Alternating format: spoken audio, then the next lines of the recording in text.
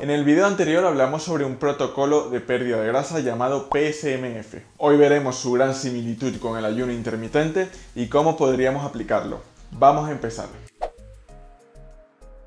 Muchos estamos familiarizados con el ayuno intermitente. Sabemos que es una metodología que trata de alternar periodos de restricción calórica con ingesta. No es precisamente una dieta, sino una manera de alimentarse. Hay un protocolo de ayuno intermitente en específico que se utiliza para perder grasa. Este se llama ayuno de días alternativos y consiste en dejar de comer por 24 horas. Muchas personas consiguen perder peso con uno o dos ayunos a la semana, puesto que en el cómputo global de la semana terminan comiendo menos calorías el problema de este método es que muchas personas se les dificulta dejar de comer por tanto tiempo y también puede ser un tanto destructivo para la masa muscular, especialmente si estás en etapas de definición y buscas minimizar la pérdida de músculo.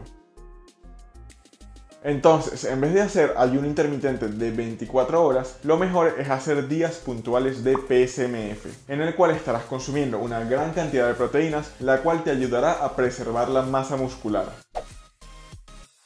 Entonces, en vez de ayunar, harás un ayuno a base de proteínas, mientras que los carbohidratos y las grasas se mantienen a cero. Es decir, la idea es consumir la mínima cantidad posible. Puedes dejar PSMF para los días que no entrenes, mientras dejas los días con más carbohidratos para los entrenamientos más pesados. La ventaja de todo esto es que no pasarás tanta hambre como en un ayuno de 24 horas, será menos destructivo para la masa muscular y en el cómputo global de la semana te ayudará a comer menos calorías, la cual evidentemente te ayudará a perder grasa. Nos vemos en la comunidad PSMF, un fuerte abrazo a todos y como siempre, que siga la locura.